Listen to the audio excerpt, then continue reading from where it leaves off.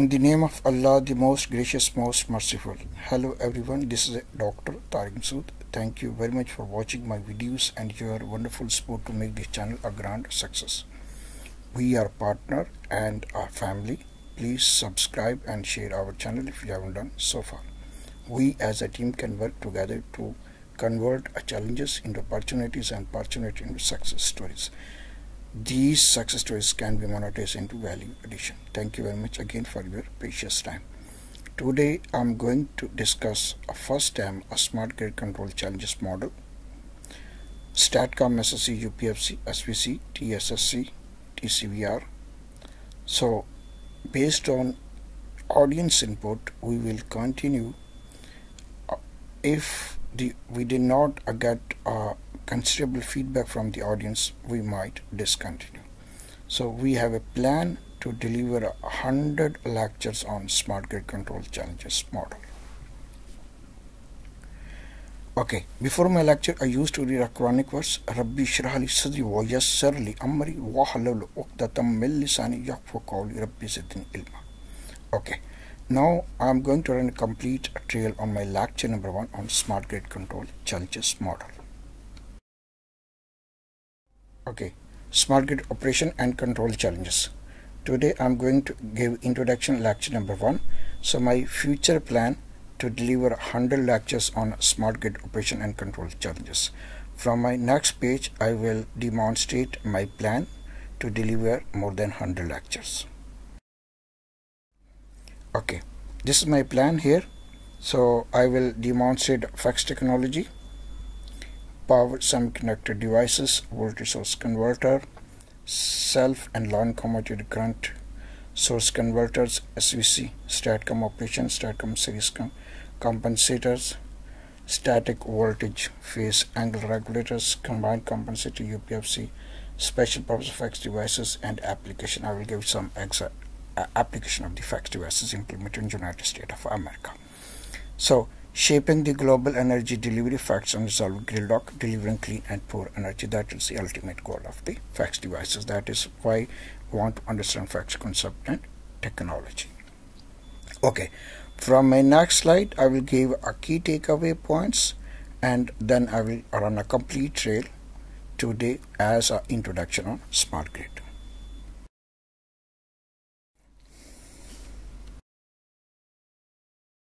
okay key takeaway points here. So first uh, if you can see here on my right side there is a picture Dr. Abdulatif Idris uh, my mentor uh, the innovator of smart grid. So today I'm going to demonstrate electricity required for our civilizations here. And uh, then we will discuss uh, electric power functionality. Then we will put some highlight on energy efficiency from generation to consumptions and ultimate goal of smart grid. So now I'm going to run a complete a trail from my next slide or what is the smart technology and what why we needed a smart grid. Okay. Uh, all my workshop on related to smart grid operation and control challenges models dedicated to faculty member and student in particular leadership VCs and deans uh, University of Engineering and Technology Lahore, NFC, RCT, Mehran, NED, Karachi, Habib, uh, South Asia, National University, NUST, International Research Dialogue, Karachi Electric, Distinguished Lectures delivered IEEE Qatar Section, University of District Columbia, University of Texas Arlington, Texas, Tech University Lubbock, University of Bath, Qatar University, Texas A&M, University of Granada, Spain, University of Salman का COMSATS of town city university challenges and opportunity for smart grid operation and control. Okay so next couple of weeks we will discuss uh, um, uh, contents then we'll give some introductions then approach of the electric power grid performance electric power transmission system technologies approach to implement smart transmission technologies, futuristic viewpoint of the technology concept. These four five items we will discuss next couple of weeks. Okay, if you can see here uh, this slide very important uh, on my lecture here you can see the on the left hand side it's uh, underdeveloping countries on uh, right hand side developed countries so so it's it's demonstrate a bridge between uh, underdeveloping countries and developed countries. So now as a technology so how we can shift underdeveloping country into developing countries? This is in our head and based on technology we should decide how we can improve the system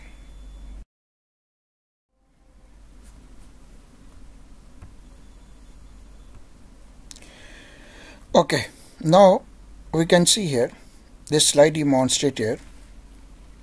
The power being produced convey both energy and informations as needed. First so the energy is being produced and then the information being transmitted in their corridors as required and system is functional number two deliver energy to the user with no emission at the point of use. That is second provides an increasing array of innovative product and services. That is third important. When we have the electricity being produced so three basic fundamental they should meet. Energy and information energy to be clean energy emission controls and number three provides an increasing area of the innovative product and services. So then it should be a more innovative product and services. It should deliver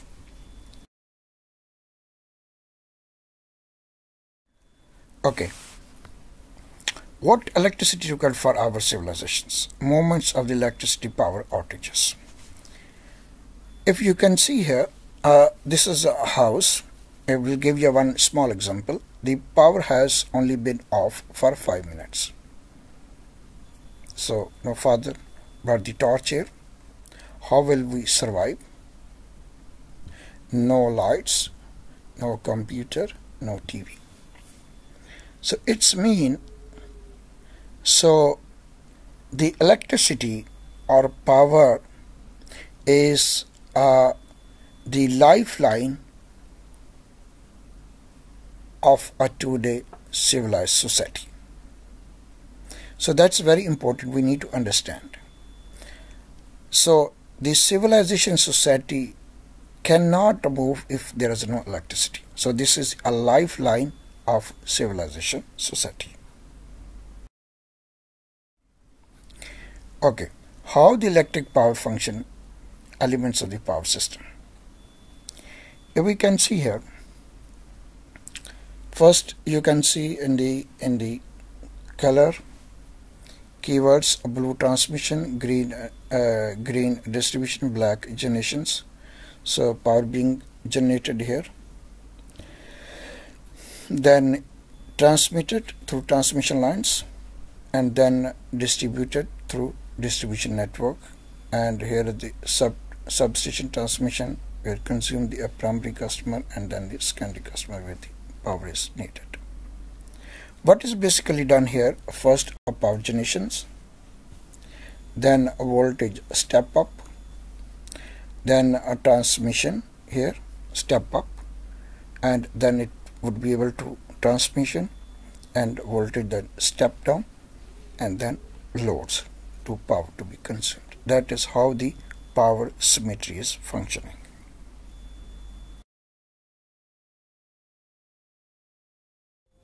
Okay, now energy efficiency from generation to consumptions. If you see here energy efficiency, you have 100% coal here. Okay, when we used a coal for a power generations so we will come across 65% will be losses and we will produce only 35% electricity. From 35% electricity you have another losses that is called the transmission distribution losses that is 7% that is 7% it, it's in the developed countries but under developing countries these losses are 30 to 35% these are mm, incorrect in transmission distribution. Okay then you will gain only 32% electricity. Okay so from 32% electricity so then it will be utilization at the end users here. So over here there is also 88% losses if you will not use an appropriate light lamp so then end user would have 88% losses. Okay. So that is a short schematic which demonstrate from generation to consumers how a about being generated and being consumed and how much losses can be measured. Okay. Now we are going to discuss smart grid. What is basically smart grid doesn't just mean a smart meters so then we start thinking technologies to modernize a transmission system which includes wires, substation, transformers, switches and much more. Number one. Then improved reliability, quality, efficiency on the power network and in energy users. So that is a basically a smart meanings of a smart grid. Okay. Now in my next slide, we are going to define what is a smart grid basically. Okay, the ultimate goal. What is the basically ultimate goal? The ultimate goal to change entire energy conversion chain into a smart infrastructure. So from generation, transmission, distribution and consumer. So everyone must be changed into smart infrastructures. So that first is a centralized energy management system, communication solutions, smart substation automations, distribution automations, control monitoring and condition monitoring and asset management systems, smart meterings, building automation, and the last year are power transmission. So transmission we are going to discuss next four five weeks on smart technology, how the smart transmission can be improved by implementing FACTS technology.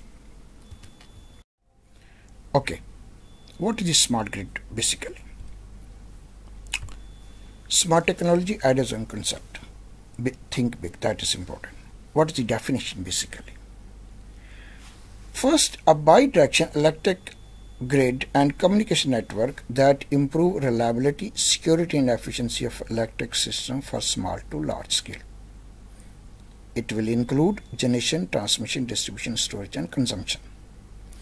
It also includes a software hardware application for a dynamic integrated and interoperable optimization of electric system operation and maintenance and a planning distributed energy resources interconnection and integrations of feedback and control at consumer levels. So it's mean you have to educate a consumer in order to be a part of smart grid. That's very important. If you have done huge improvement at generation side by using smart technology ideas and concept transmission side distribution if you did not educate uh, your consumer you will not uh, see the benefit which is supposed to be by implementing a smart technology smart grid. So the consumer is an essential part of smart grid implementation stage. Okay smart grid evolutionary development. Over here driving factor and influences. So it has uh, three type of factors. First are external influences or external factors. And second operational factors or operational influences. And third are grid condition requirement or grid condition and its operating factors. That are the three factors which are driving and influencing how the smart grid behave or can perform as required First here, fundamental approach for a smart grid operation challenges. First, if you can see here, grid condition and requirement important. Based on that, that could be a variable power supply, number one. integration and distribution resources, increasing distance between resources and load. Then number two here, operational factors, greater transmission network complexity, number one. Number two, aging infrastructure and lack of experts. Number two. Number three, high power delivery and quality. That is the operational factor. Then number three, external factors, legal and regulatory framework. Integration of renewable energy resources, CO2 reduction and energy efficiency. That are the external factor that is affecting and must be addressed as part of the smart grid portfolio. Okay, now all these factors to be addressed. So what we have to do now, in order to address these factors, what we need to do it. So complex a grid structure required, that is a smart solution. Okay. So now on my next slide, I'm going to conclude a two-day my lecture here and give you a plan what I'm going to demonstrate next couple of weeks. Okay, now this is my last slide. So what I'm going to deliver next couple of weeks will demonstrate a first a self-healing as far as the part of smart grid. Smart grid rapid detect Analyze, respond and restore. That is first instance. Number two, empowers and incorporates the consumers. Ability to incorporate consumer equipment and behavior in grid design and operation. That is second. As part of the smart grid can be witnessed. Number three, tolerant of attack. Grid mitigates and resilient to physical and cyber attacks. That's number three here. Number 4 provides a power quality needed by the 21st century users based on CBEMA curves. Grid provides a quality power consistent with consumer and industry needs. Okay.